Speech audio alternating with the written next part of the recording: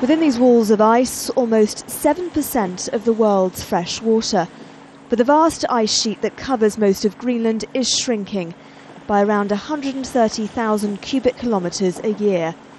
This is where you see it happening the ice fjords of Ilulissat off Greenland's west coast. UNESCO protected, it's one of the most spectacular places on Earth. Evidence of the retreating glaciers all around us here in what's known as Greenland's Iceberg Alley. Not only are there icebergs of all varying sizes, but also a huge amount of melted ice which is being released into the sea. Scientists blame an influx of warm water into the Arctic for what's happening. The breaking off of icebergs is nothing new.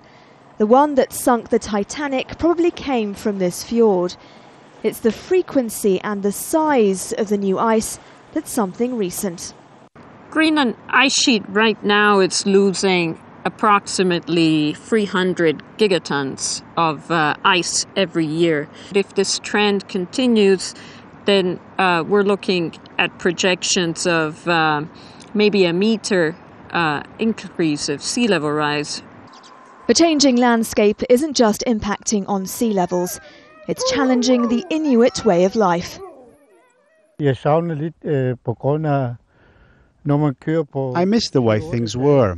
We used to be able to travel for six, seven days into the ice fields and catch seal. But now we have to travel all the way out, a different route, with snow up to our knees. It's too difficult for the dogs. The melting of the ice could take Greenland back to a greener time and warmer climates that allowed the Vikings to colonize the island in the early Middle Ages.